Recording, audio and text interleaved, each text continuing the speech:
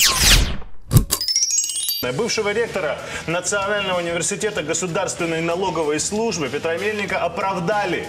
Социальные сети просто взорвались возмущением. Человек, которого летом 2013 года взяли на взятки около 100 тысяч гривен, это он столько требовал за поступление в ВУЗ, его задержали. Мер пресе- Меру пресечения ему суд дал, домашний арест, надел на него электронный браслет. Он снял браслет, сбежал. Задержали его через год, да это благодаря тому, что Интерпол его Так, обра- так, э, международный об- обыск объявил.